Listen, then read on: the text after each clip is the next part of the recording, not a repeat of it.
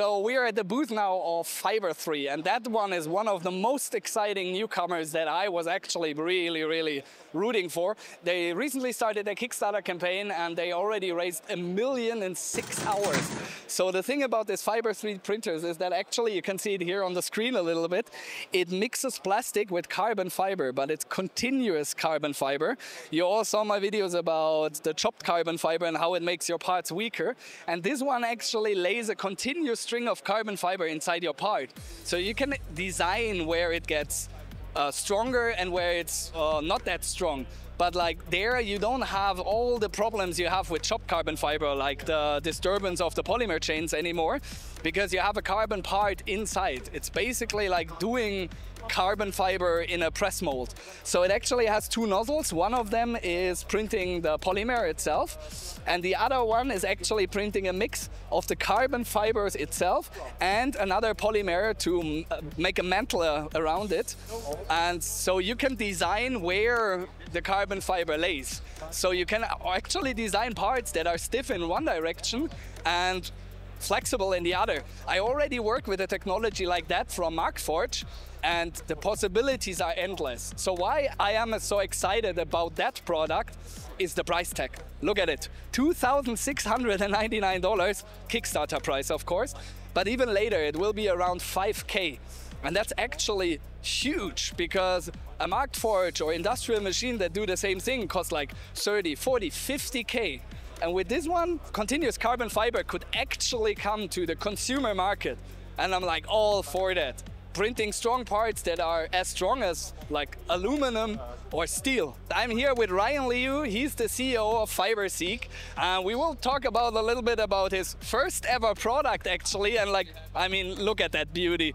So what, what drove you to get into the technology of continuous fiber printing? So I've been working with uh, continuous carbon fiber technology for like more than five years. But previously, we work at, at Anisoprint, which is like more like on the industrial side, like B2B, quite expensive machines.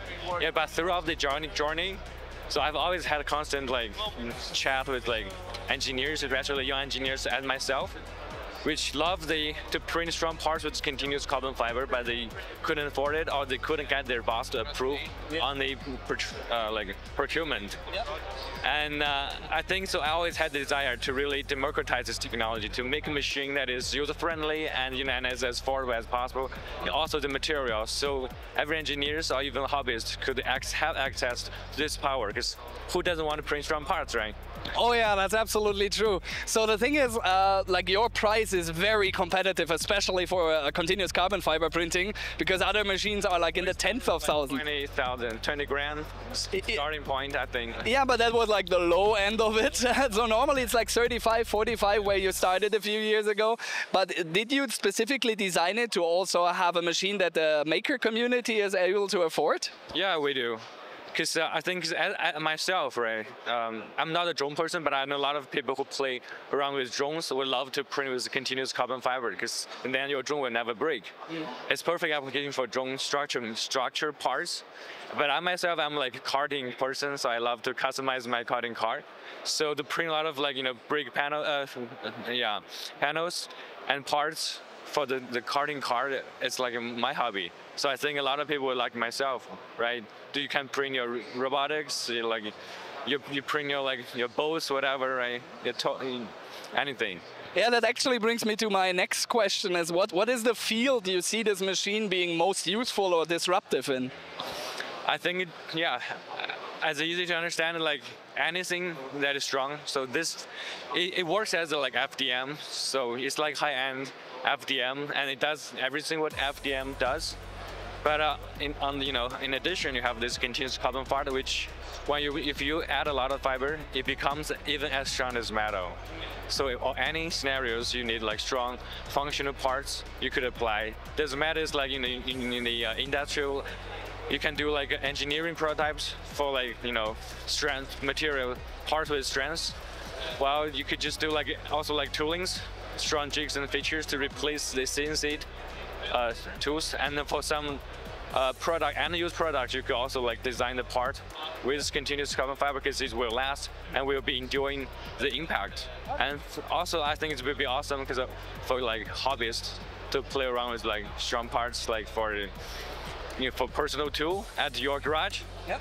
Or for your like maybe you have old car that you, you want to fix, but you cannot find like the spare parts, so you can print them. And finally get away from that awful carbon fiber reinforced PLA what they sell everywhere. Like, yeah, it doesn't make sense. You can still break it. yeah. But I, I recently did a video on it and it's it's It's weak. fine, Oh yeah. so different. Oh, can I try? You can try it. Yeah, I can hold it. Feel the difference.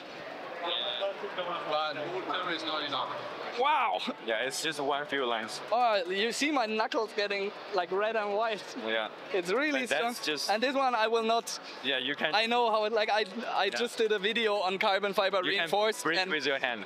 my results actually say it's weaker than PLA. You know why? I, can, I am a PhD of like Yeah. mechanical engineer. I can Ah, perfect. Yeah. geeky, uh, like uh, geeky. Yeah. Well, because you add like chopped carbon fiber grains, it actually uh, it's not good for the uh, adhering. Yeah. For the bonding. So The actually, polymer bonding is disrupted, It's exactly. disrupted. It's weakened. Exactly. Wait. That's will- why it's not even stronger. But if you really do like scientific research on it, it's actually weaker on the tensors. Yeah, that's actually what we did. I work as a university and we did a paper about carbon fiber. I'm trying to show you, it. Yeah, because the chopped carbon fiber is not good actually for strength, but for surface finish, because Yeah. it gives a more, you know, Young's modulus, and then the, like it reduces flow, so it's less mm-hmm. viscous. So when you print, you get less like layer lines. Yeah. But for strength, not really. But if for hardness and surface finish is good. For strength, you really want the continuous fiber.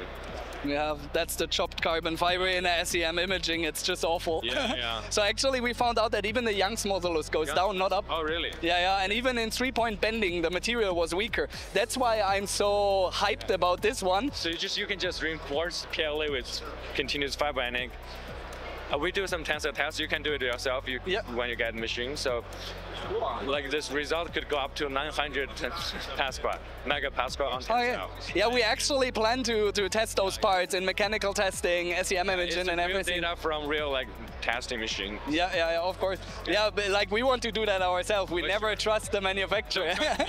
Okay, do it yourself. Okay, but that's awesome. Uh, those guys are already started their Kickstarter campaign. It got live like two days ago, right? One days ago, yesterday. Yesterday, okay? And they actually raised a million in the first six hours. Congrats to that. Thank you so much. Huge, huge success. But I mean, it's a no-brainer. A machine in that price tag that can do continuous carbon fiber, and the parts look really nice. Thanks. Can you combine any material with the carbon fiber? So we have our like own patented like CFC, which is called like composite fiber co-extruding technology, which you can easily bend or you, you co-extrude like the already uh, top, um, pre pre impregnated fiber with this like plastic, so it unlocks on, on any kind of base materials. So you can put the same fiber on any kinds of plastics out of your selection, no matter it's PLA, PETG, or you can go also PA. You can also reinforce PACF, Yep. you, which means you use chopped and continuous fiber together, Oh, nice. And you can have the, the nice surface finish and they and heat the strength, and then, and then the the real strength. That's really cool. And you can do even like this uh, production machine has a heated chamber, Hmm? so you can print like PPA, PPS, yeah, easily. So it has a heated chamber even. Okay. The production version. So this is a prototype.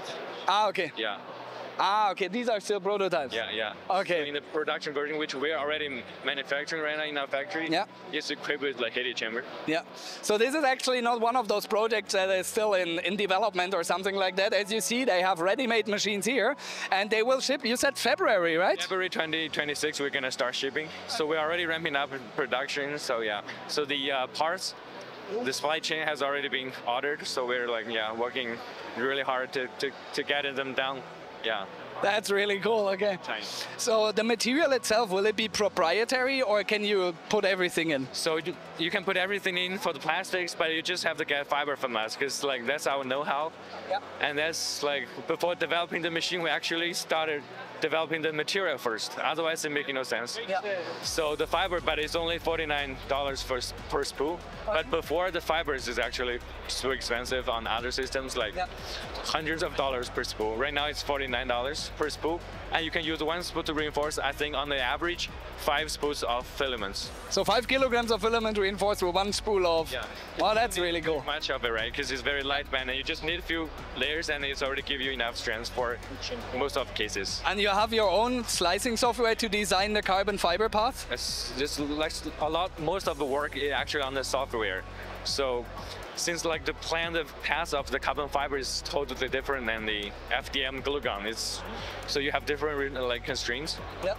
So that's like you know, a hundred pages of like differential equation to to guide you through the fiber path. So that's also our proprietary uh, software, slash, but it's for free. Okay. Yeah. Can you uh, lay those fibers non-planar or are they always planar by now? One it's just planar, but we're working on the On the non-planar version. Okay, that's awesome.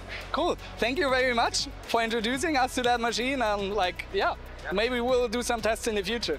So here you can see some of their samples and if you look very closely here, the outside here is now, I think it's a PETG, and the inside, the black one, is carbon fiber with PETG. But if you look very closely, you see that there is a line of true carbon fiber in the middle. It actually comes from a spool and gets cut whenever the line ends, and it's surrounded by plastic. But it adheres to each other like you would classically resin bind uh, carbon fiber to each other. And I think with that you can produce super hard parts. Like I don't think, I know. I produce parts for industry, for aerospace with the same technology they actually use here. But uh, of course, back then it was proprietary. You can really design the way your part have the carbon fiber in it. So you only use the expensive carbon fiber where it actually is necessary for the strength of your part, and the rest you just print in normal plastic. And this gives you part for the price tag close to a normal 3D printer, but actually with the strength as you would mill it out of steel or aluminum. It's really, really cool. They have some very cool use cases here. Of course, it's a very young company. Uh, as I know, it's their first product. but they already gone into, for example, drone building, as you see over there.